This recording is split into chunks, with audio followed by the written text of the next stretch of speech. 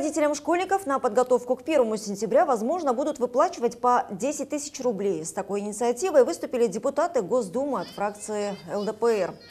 В пояснительной записке к законопроекту представители э, депутатского корпуса проинформировали, что собрать первоклассника к сентябрю обойдется родителям школьника около 20 тысяч рублей. Поэтому ежегодная выплата может оказать значительную помощь родителям. Средства на реализацию проекта депутаты от ЛДПР предложили выплачивать из федерального бюджета. Авторы инициативы считают, что принятие закона состоится до 1 января 2001 года.